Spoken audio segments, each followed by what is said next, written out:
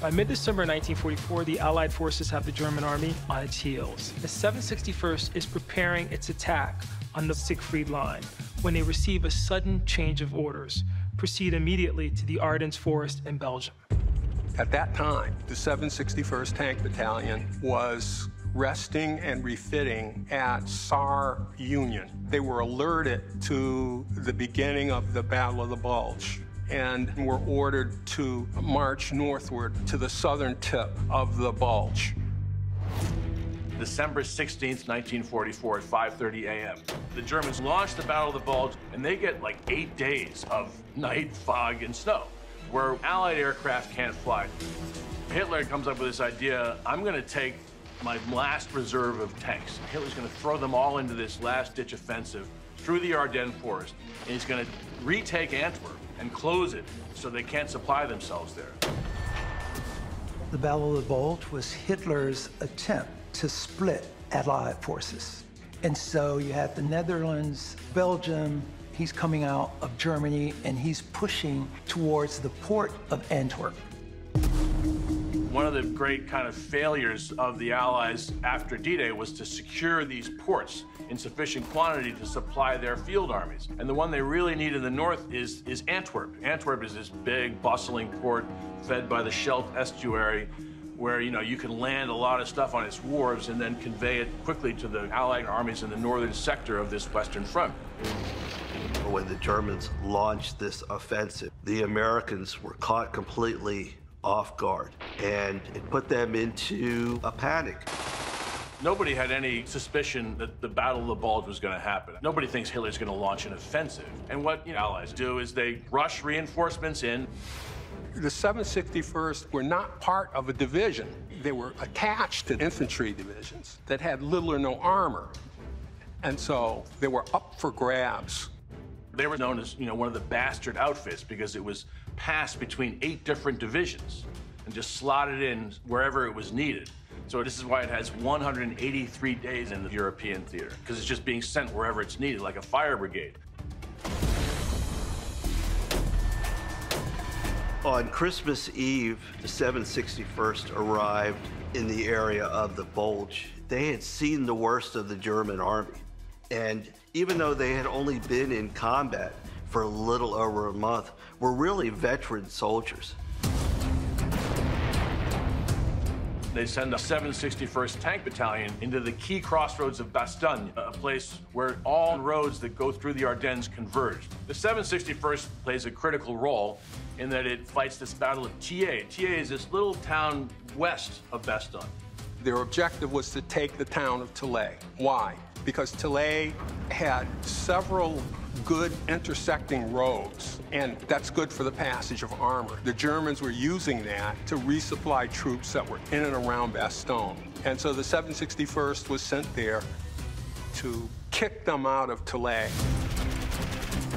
By taking Tillet, they can no longer supply these advanced panzer units. And then you kind of can turn back in and lift this siege of Bastogne.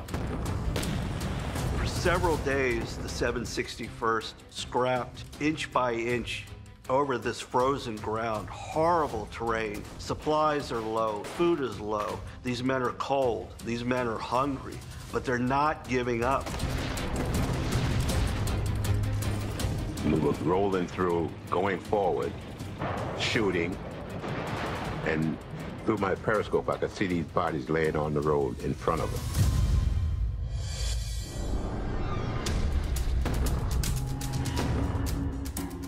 And all of a sudden, we heard over the radio, we had the Germans hit the first tank, the last tank, and it would say Germans all over the place. So we backed up, ran around to the back of the town, and we laid nothing but fire on them, 50 caliber, 30 caliber, and 76 millimeter. All hell broke loose. They fired a HE shelled and hit. Sometime after dark, when I came to, out in the ditch next to my tank, burning like hell. They were able to cut off the supply lines. You can't get fuel, you can't get ammo, you can't get food. And once they were able to do that, it's, it's, it's done. You literally see the Germans who went into this battle with just five days of gasoline. in their tanks. And they're out of gas, so they just get out of their tanks in the middle of Belgium and start walking back to Germany because the Third Army has basically hit them in the flank and stopped the, the, the siege of Bastogne. Uh, by December of 44, the Germans were in a vice. That vice had two parts. One part was closing from the east, that was the Russians. And the other part, the Allies closing from the west, the British and the Americans. And they gradually squeezed the Germans. When I pulled my helmet off of my head, I, I felt a sharp pain because the shrapnel had lodged in my head, in, halfway in the helmet and through into my skull. This uh, young white fellow who was in the infantry, he uh, grabbed a hold of my helmet for me, and he thought that we were evacuated together. And uh, this is sort of odd, you know. Here's a white soldier uh, looking out for his black combat companion. Tillet passed into history and became another town that was only a shambles after the battle had passed and smoking shells had ceased to blast. It was just another dead town where a hard battle had been fought. Well, as a bastard battalion, there are challenges but opportunities associated with the way that they're being utilized by Patton the challenges are obvious. They are not going to be recognized all the time for what they're contributing as a unit. But because they are an armored division, that armor is a buffer in some sense against the discrimination they might have faced had they been standing shoulder to shoulder with their countrymen in other forms. And so they're able to build that trust based on their performance, but also a degree of anonymity. No one knows who's in those tanks in the heat of battle. But afterward, there's this recognition that without those men, all could have been lost. On March 21, 1945, Supreme Allied Commander Dwight David Eisenhower commissions Task Force Rhine to be under the charge of Lieutenant Colonel Paul Bates, who's now recovered from his injuries. It's going to include the 761st and the 409 Infantry. Their orders are both ambitious and specific. Break through the Siegfried Line and advance to the Rhine River. Task Force Rhine was really the end game of World War II. Of course, by that time, the Battle of the Bulge was over. The Battle of the Bulge was Hitler's so-called last gamble in the West, and Task Force Rhine was just the beginning of the end. One of the, Germany's great vulnerabilities is the Rhineland, where so much German industry is concentrated in this area. So the Siegfried Line was 400 miles long, and it was intended to secure the Rhineland. And about 18,000 interlocking bunkers and pillboxes connected by tunnels and roads and lots of infantry. So there was not an inch of ground that invading force could cross where they would not be hit by German machine guns and artillery. It was as nasty to a service member as you could imagine.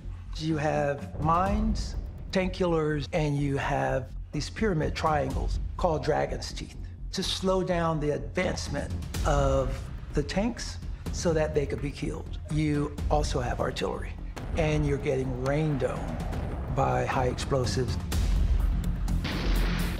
By this stage of the war, with the German army so worn down by constant combat on the Eastern Front and on this Western Front, the Germans just don't have the troops and the artillery and machine guns to man all the positions of the Siegfried Line. Those that are manned are dealt with just brutally by the Allies as they roll forward. They basically have flamethrower tanks. These will be like Sherman tanks equipped with a nozzle that'll fire jellied gasoline, napalm, into the gun slits of these Siegfried Line forts. The very place designed to keep tanks out, the 761st, is going through. Now you have infantry going across the Siegfried Line, led by black troops into Germany. We started with zero trust. They've now built up trust to where, as a white service member, I'll go with this black driver from South Carolina, and I trust him with my life because I've seen them in battle. And we're both going into Germany. That is the epitome of trust on the battlefield.